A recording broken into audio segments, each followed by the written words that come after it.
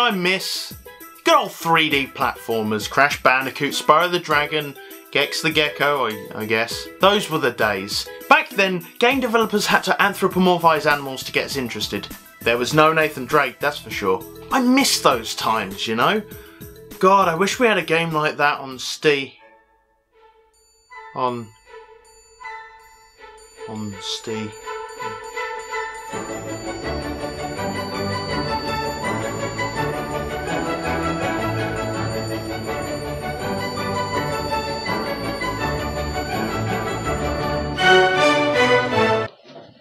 Huh? Eh.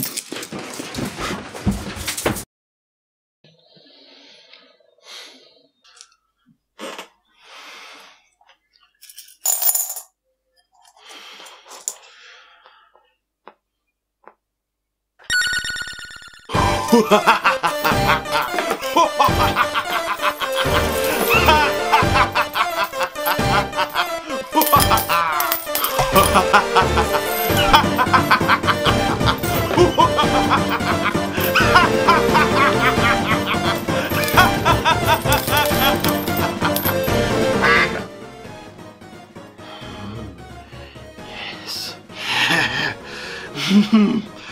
Yes.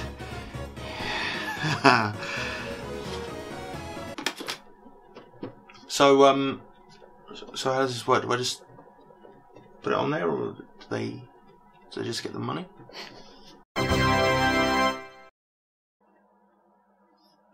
Uh, man, you're right. You're right. No, dude, I feel fucking weird. You know? What are Do you not feel weird? No, I'm fine. What? Don't know what you're talking about. The air in here or something? Or No, I think yeah, it's fine.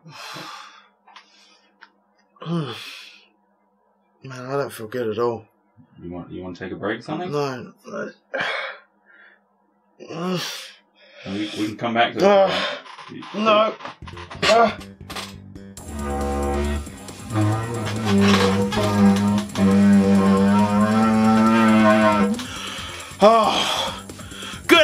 Sheilas and Drongos. Just playing on my good old didgeridoo. Ain't it a fair dinkum of a day? Eh, Ripper, eh?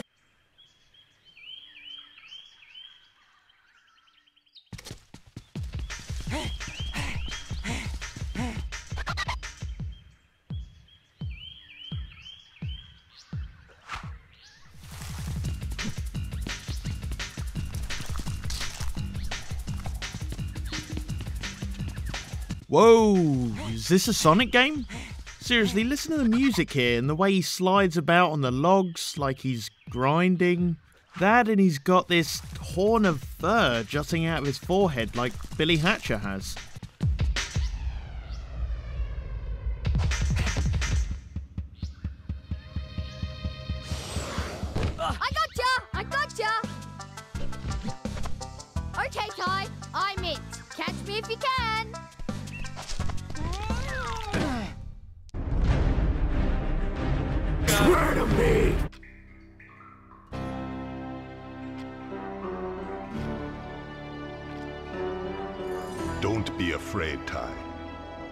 Nandu Gili, the Bunyip Elder. G'day, mate. It's time you knew the truth. Okay, I don't know if this was intentional, but I love how Ty's like a modern Australian and this this bunyip elder is Aboriginal. Sort of like, G'day, mate. Sorry we took over your sacred land and forced your people to near extinction. Yeah, anyway, look at these sacred wall paintings. Years ago, a great battle was fought over the fate of five mystic talismans.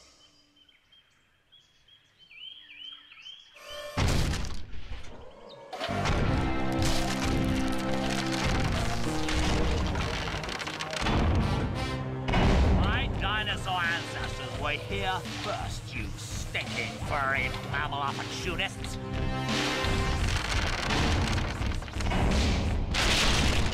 Remember the comet!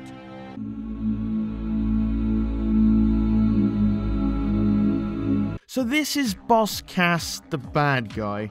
I mean, of course he's a bad guy. Evil looking eyes, fluffy eyebrows, some sort of fleshy hill on his head, beak. Classic bad guy look.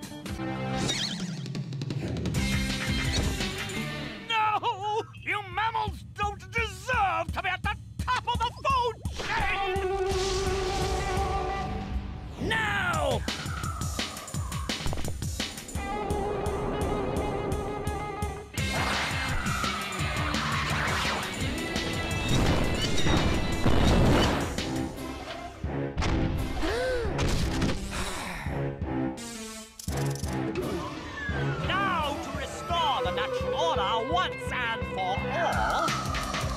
You're in a fucking giant robot. You're in a giant robot that shoots missiles and just took out half a lush rainforest. What is your definition of the natural order?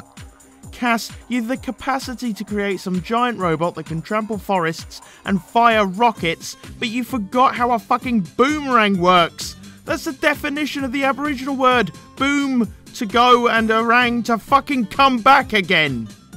Seriously, man, get your shit together. So Cass is angry that there's a class of animals of the phylogenetic tree that possess a neocortex in the brain, hair, three middle ear bones, and mammary glands. He's so angry, in fact, that he wants to use five magical talismans to send them all to a realm called the Dreaming, allowing reptiles and birds to rule the world.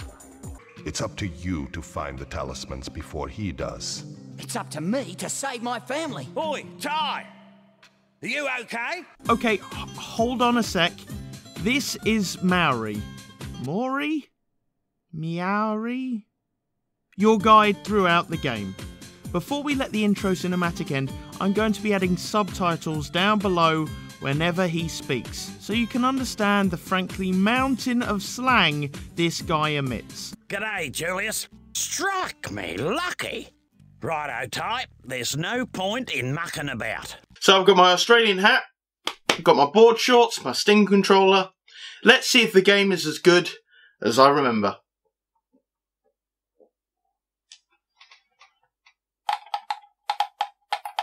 So here we have Ty the Tasmanian Tiger.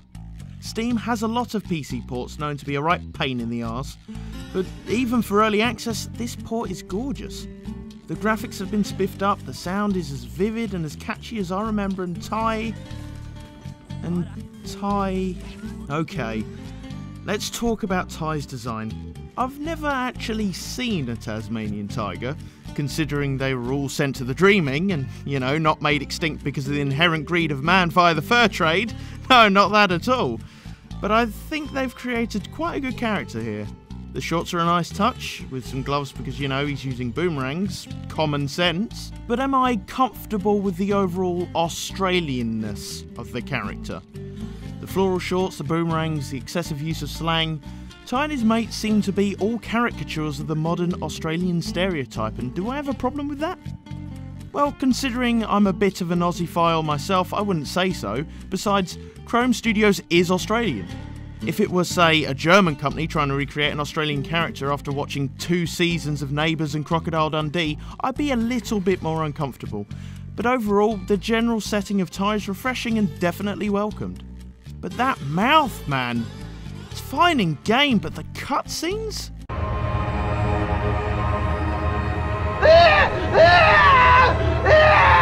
The first few levels are admittedly rather easy. They show the mechanics of the game rather well. There's some swimming in one level, rainforest in another. I like the varying environments the game presents us. We're told by Julius, some frickin' koala nerd, that we have to find thunder eggs that will allow us to power up his machines, which will locate and capture talismans. Simple, right? Huh? And thunder eggs are the key to powering the machine. Thunder eggs. Oh, they're as rare as hen's teeth, mate. Oh, is that a fact, Maurie? Because when we enter the first level, there's literally one 20 feet from the fucking start. Guess there's going to be a lot of hens smiling tonight, Maurie, because you were fucking wrong. Hello there. What's that for? What's that for? What's that for? Get out of it. Much like Spyro, Ty has different methods of attack. He can throw boomerangs with the X button and bite with the B button. In turn, only certain enemies can be harmed by a certain style of attack, not to mention that throughout the game, Ty receives different boomerangs with special powers that are strong against some enemies. It's a great way of adding some variation to the usually bland combat platformers struggle with. I will admit the variety of puzzles and situations in which the boomerangs are used is limited, but it's still a nice touch and I'm happy to have the choice. That bite though, that bite just looks familiar. Like, like I've seen it before. Look out, don't be low. Ty is on the go, and he's got his ranks. He hits the guys in the face, yeah. So we get to the first boss, and let's see. Oh God! You just know this guy's tough because the dude's got a freaking mum tattoo. Not only is this guy tough as nails, he respects his mother, and that's more cooler than anything. The fight isn't difficult. In fact, let's have a pop quiz. The boss is a bull, so what method is there of defeating him?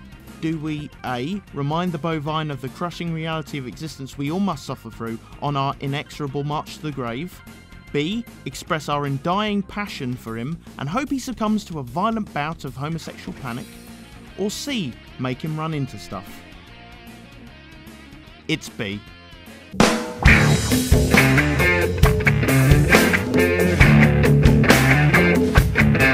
With our first boss victory, we have enough Thunder Eggs to get a new elemental rang, the Flame Rang, which unlocks the next three levels.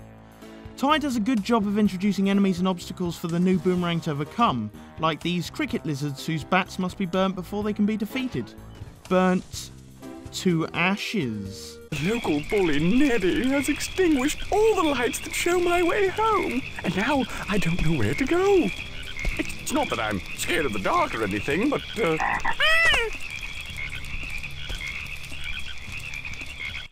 oh, classic. This is what makes Ty stand out above Crash and in some ways Spyro. It's almost on the level of Ratchet and Clank in terms of humour. Although a little cheesy and childish at times, it's endearing to see Ty show its unique brand of writing in a genre that plays to such comedy so well. All the portals to the levels are found in a hub called Rainbow Springs. Rainbow Springs is nothing special, it acts in the same way the certain overworlds worked in Spyro, except the area lacks any sort of collectibles. It's just to get to other levels. In total, the game has 10 levels with a few boss levels added in.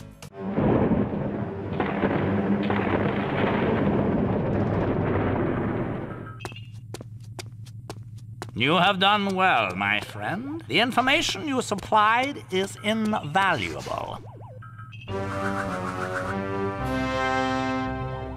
So someone thinks they can stop me obtaining all the talismans! Of course he will never succeed! I want this meddling mammal stopped at any cost! Yes, sir. Right away, sir. Yes, sir. Right away, sir.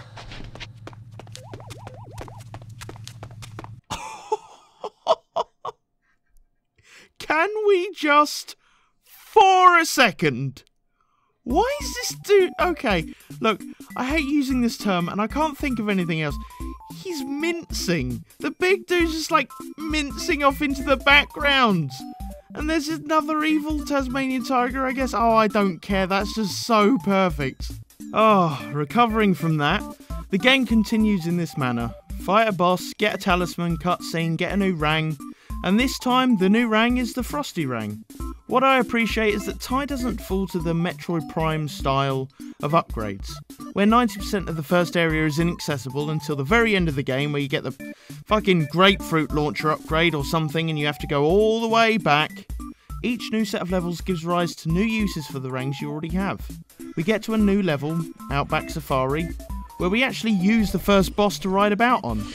And although the big dude slides about like his hooves are made of butter and inertia is a concept that only bovines are immune from, it's refreshing to have such a drastic and entertaining departure to what we've already been made accustomed to.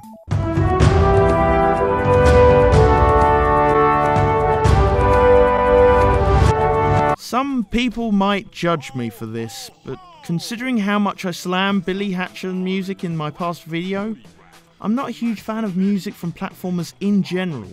I prefer music that enhances the atmosphere and brings about the emotions in the scene, which is kinda hard in a game where you just jump about.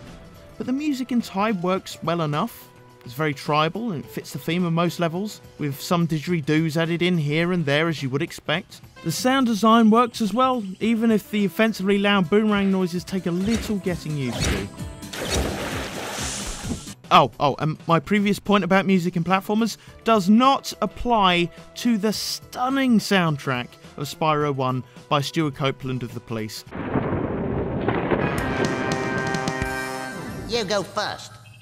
No, you go first. Well, I went first last time. Get in here! Classic. Did you take care of that troublesome Tasmanian tiger? Well, that's just the thing, see? He's kind of, um, well, uh, good. You okay, boss? Come over here. Just come over here. I won't hurt you. Now, what's my name? Uh, Cat? No, that's my last name. What's my first name? Oh, oh, I know, I know. Let him answer. Uh, what? That's right. Wait a sec, his name is legit Boss Cass? I think this guy has a genuine reason for wanting to take over the world, considering the amount of bullying he must have received at school. His first name is Boss, and those fucking eyebrows! Boss around here. And I do all the thinking. Now get out of my sight. Throughout the game, there have been several collectibles to find bilbies, opals, stuff like that, but they just produce thunder eggs. 5 bilbies and 300 opals on each level gives you a thunder egg each. But there's also golden cogs. These things are used by Julius, the nerd we talked about earlier, to create techno rangs, which are non compulsory rangs to unlock. Some lock onto enemies, some zoom in with some sort of sniper scope, and there's one that splits into multiple rangs. Ty, you uh you okay there, buddy? You're looking a bit more jittery than usual. Want to call you an ambulance? Or, no, you okay? Yeah, you're okay. It's nice to have the option, but some rangs are more important than others. For instance, the Chrono rank, the one you unlock by finding all the golden cogs in the game, just slows down enemies. Whereas the Kaboomerang kills all enemies in the same postcode as you, as well as breaking any hidden crates nearby. What I'm trying to say is that the Kaboomerang's OP. Please nerf Krome, thanks! So the last three levels go by rather quickly. It's nice to see the optional missions in each vary the gameplay a little here and there. Reminds me of Spyro 2, my favourite of the series.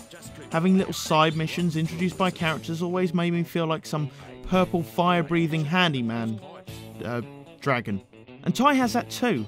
They can range from mini boss fights to finding koala cubs. Howdy ho! The name's Lenny. Lenny the Lyrebird. Lyrebird, Lyrebird, liar, liar. Must mean something. There must be something. Think! We have got some trouble in this dusty old desert. Ah! Fucking knew it! He's a liar! I knew it! After we beat all three bosses and recover the three talismans, it's time to head to Boss Cass's lair. And at this stage in the game, it's starting to feel like the end. Uh, Rouge? Who dares disturb my slumber? Oh, no, no, I was wrong. Oh, I was so wrong. Now, as a kid, I just let this next bit go, but listen to this. I told you we'd meet again. I'm gonna enjoy this.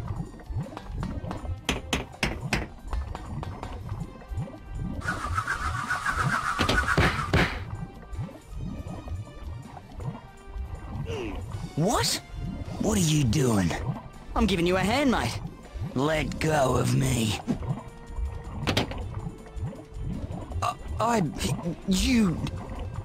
You're gonna regret this. Okay, you got that memorized? It's very important that you remember that. The level is short, and after we scare off our doppelganger, who's canonically labelled Sly, by the way, you know, Ty's brother, Sly, and his quiet sister, Shy, not to mention the twins, Nye and Guy.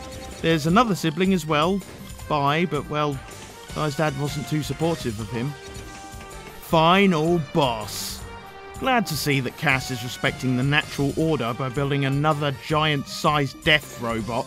But hell, Boomerangs took the thing down the first time, and I'll be damned if Boss Cass has the foresight to design against them this time. The first stage is quite simple take out the flamethrowers and head into the bowels of the robot. Then we. Ty? Calm down, Ty. Ty, what are you doing, you madman? Beauty! Butler! Bonza! I got one! Shoe Ripper! No one messes with my mates. No one messes with my no worries. No worries. Unless you're... Okay, I never noticed this as a kid, but legit 10 minutes ago the dude said, You're gonna regret this. And then the very next instance he shows up, he helps Ty. Regret what? What were we supposed to regret? Don't think I didn't notice that, writers. Sly! What are you doing? What I should have done years ago. I'm giving him a hand, mate. After all I did for you? Yes, Sly, you bastard, after all he's done for you, like not including you in his insane plan to send every mammal on the planet into the dream world. You were the exception, Sly, and you just stab him in the back? Poor form. So, everything ends with this, I don't know, telepathically controlled boomerang section that seems to go on forever, sort of like the Death Star sort of thing. Not that it isn't interesting, but it seems a tad anticlimactic to how the fight could have gone.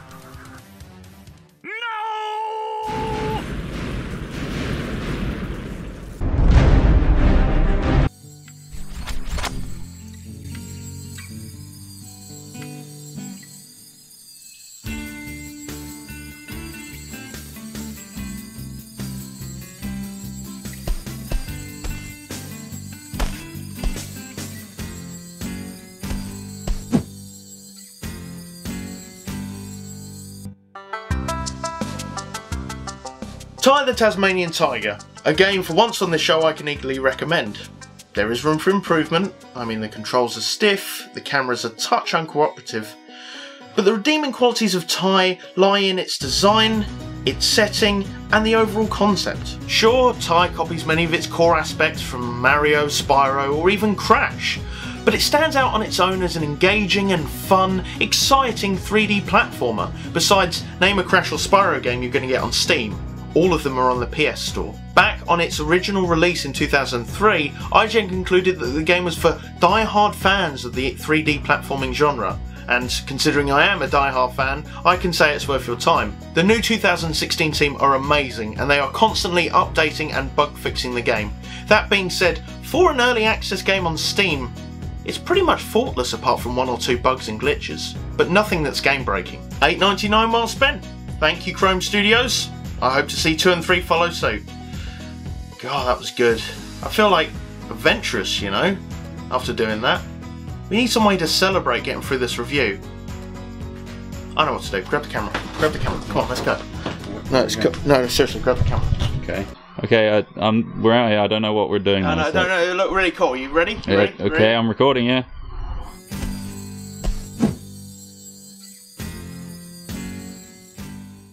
Hello, fellow bin raiders, and thank you so much for watching. So, yeah, thanks. I mean, if you like the video, then I guess. It's truth, mate. Don't bore him to death. Leave aside and let me have a go. G'day, everyone, and thanks so much for watching the video. Ty here, reminding you to give us a like if you enjoyed.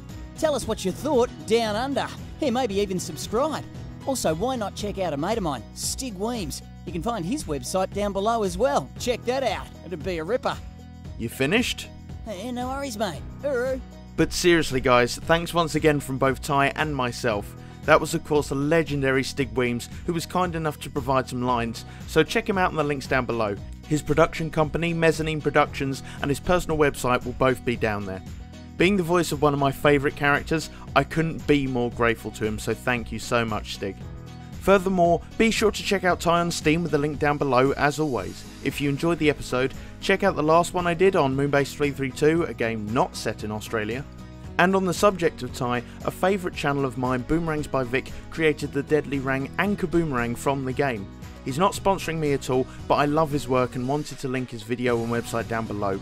If you're a fan of Ty or pieces of wood that return to you after you throw them, do check out his store. He makes loads of crazy designs, many of them inspired by gaming. But that's all for now, Bin Raiders. Keep bin raiding, and I'll see you next time.